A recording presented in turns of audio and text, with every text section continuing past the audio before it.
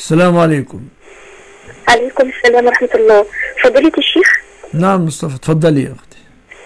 الله يكرمك يا فضيلة الشيخ. وياكم بعد إذنك يا فضيلة الشيخ أنا من كذا سنة آه، كنت آه، رايحة أحج.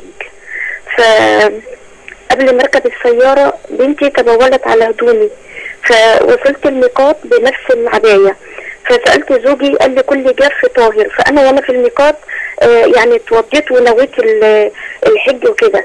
آه، لحد ما أدخل مكة. فإيه الحكم يا فضيلة الشيخ؟ الحج صحيح. الله يكرمك. يعني ما عليش حاجة؟ لا ما فيش حاجة إن شاء الله.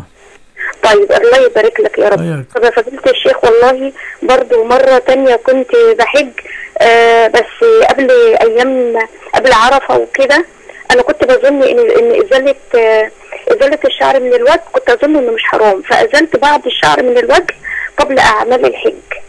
يعني قبل أن تهلي ولا يعني وأنت محرمة؟ أنا وكنت- كنت آه أنا كنت محرمة بس في فترة ما بين ما عملت عمرة ما بين ما يجي يوم التروية. لا. يعني عفوا كنت تحجين متمتعة يعني اعتمرتي وتحللتي ومنتظر الحج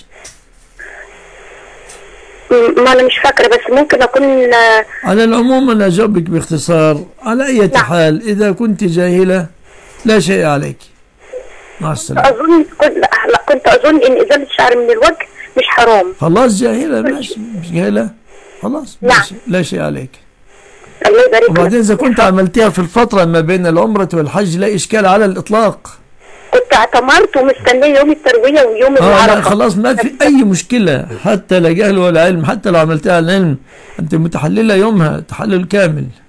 طيب قولوا قولوا عشان أنا ناسي لو كنت ما تحللتش ومستنية لو كنت خلاص فرنت جاهل لما أنا جاوبتك على الوجهين يا أختي أنت موسوسة طيب العالم ليه بس؟ أصل أنا من